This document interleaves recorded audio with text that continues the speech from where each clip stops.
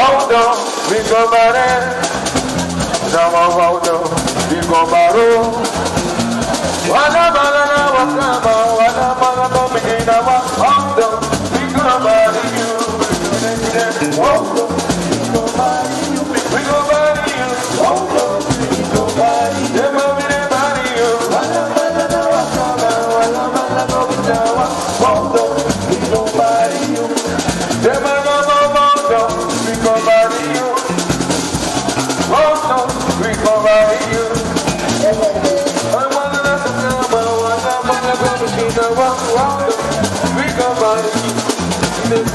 En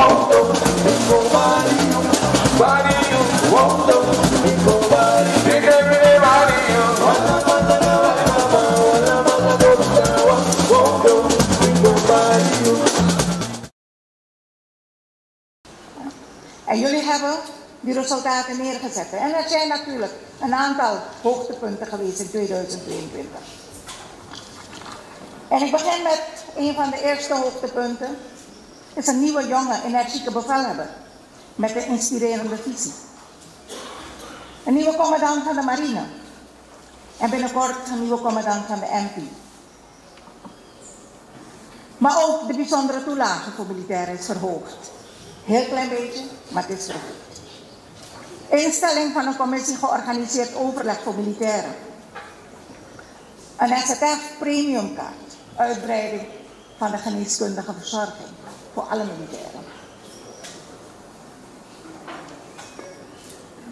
En in deze moeilijke tijden hebben we prioriteit gegeven aan de rechtspositionele zaken. Behoorlijk te investeren in ons personeel. Omdat we beseffen dat het personeel het belangrijkste is in onze defensieorganisatie.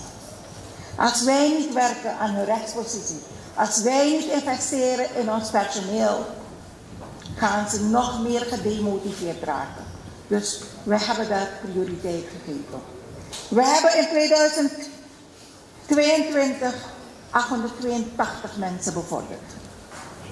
En er zijn nog iets meer dan 100 die liggen bij het ministerie van Binnenlandse Zaken. We hebben 480 mensen van een vaste aanstelling voorzien. 226 mensen hebben gratificatiekaart vanwege 25, 30, 35 en 40 jaar trouwendienst.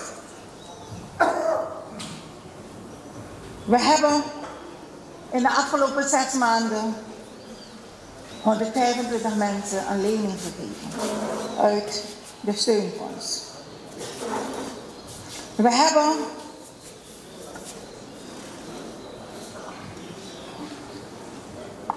...177 mensen hebben een opleiding afgerond. Bij het instituut van defensieopleidingen. En nog eens 128 zijn in opleiding. Tegelijkertijd hebben we 170 mensen naar het buitenland gestuurd. Het zij voor een conferentie, het zij voor een training. Ik denk dat het een unieke prestatie is in een jaar waar we net afkomen van COVID-pandemie, om in zoveel mensen te investeren. En mijn dank en erkentelijkheid.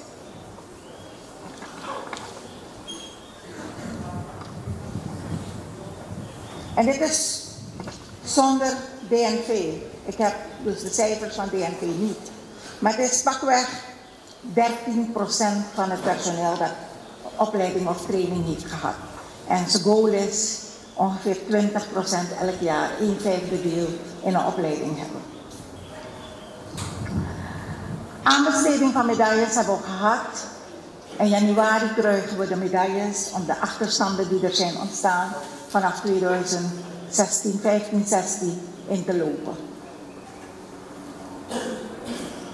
Maar we hebben ook dampers gehad.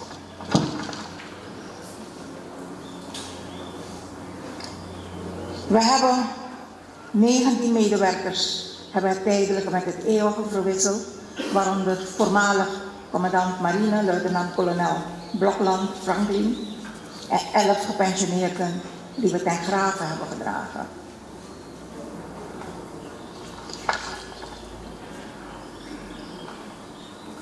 We hebben ook 214 mensen moeten ontslaan. En we hebben twee mensen in dienst genomen.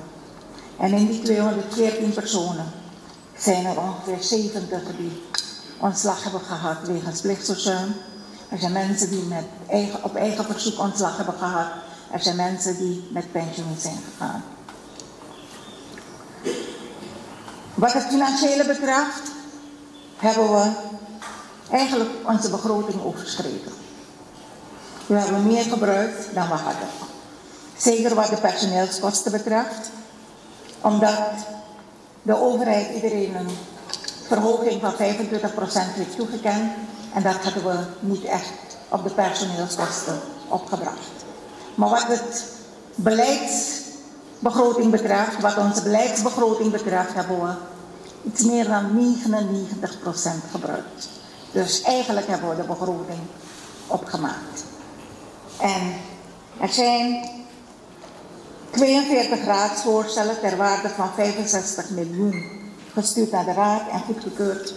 105 autorisaties. En met deze 65 miljoen hebben we besteed extra aan voeding, renovaties, aanschaf van meubilair, computers um, en nog veel meer. Braaibeer, stoelen, tafels. En we zijn er nog niet. Als u rond u heen kijkt, dan ziet u van willen we in dit gebouw zitten, op deze. En het is een renovatie. Maar we hopen niet volgend jaar in ditzelfde gebouw onder deze omstandigheden te zitten. We zijn bezig te renoveren. Er gaan nog meer gerenoveerd worden. Het gebouw van de MP gaat gerenoveerd worden. We hebben elk jaar proberen we één of twee gebouwen, drie gebouwen te renoveren. BBZ is gerenoveerd. Nog een paar van de gebouwen zijn gerenoveerd. MP-gebouw in Nikeri is gerenoveerd. Maar wat we proberen is, we gaan de achterstand niet in één keer kunnen inhalen. Wat de, wat de ook zei. Keulen en Aken zijn niet op één dag gebouwd. Maar stilzitten is ook geen uitkomst. Dus we zetten stappen vooruit. Elk jaar gaan we een aantal gebouwen renoveren. Het belangrijkste ook was de aanbesteding van brandstof. Omdat heel veel geld gaat in aankoop van brandstof. We hebben ook vijf voertuigen gekocht en twee boten aangeschaft. Maar ik zei het al, het was het jaar van de operaties. En de bevelhebber heeft genoemd. En we hebben gelukkig heel veel operaties kunnen doen. Niet alleen op onze kerntaak van beschermen en veiligheid, maar ook de ondersteuning, gezondheidszorg, motivatie van jongeren.